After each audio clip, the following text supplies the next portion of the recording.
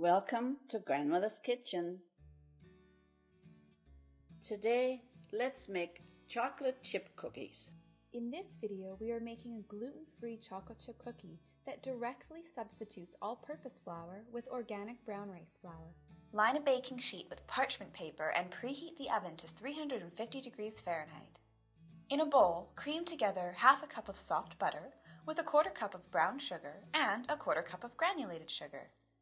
We are using a stand-up mixer, but you can do this with a bowl and fork if you don't have one. Blend until it gets creamy, scraping down your mixing tool if it starts to bunch together. Measure in one teaspoon of vanilla and continue to mix.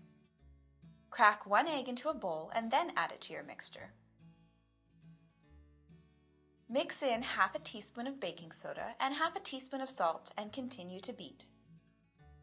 Add a cup of the brown rice flour and continue mixing, scraping down the beaters as they get too thick with batter. Now pour in one cup of chocolate chips or chopped chocolate and use a big spoon to mix them in. If you like nuts or raisins, this is when you would add them as well. Use a teaspoon to transfer about 12 balls of dough onto your lined baking sheet. Give them a bit of space because they will spread slightly. Bake for 11 to 12 minutes until they are golden brown around the edges. Remove from the oven and then transfer the cookies to a wire rack to cool.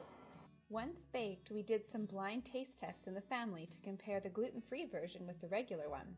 Everyone agreed that these tasted almost identical and even a little bit more moist.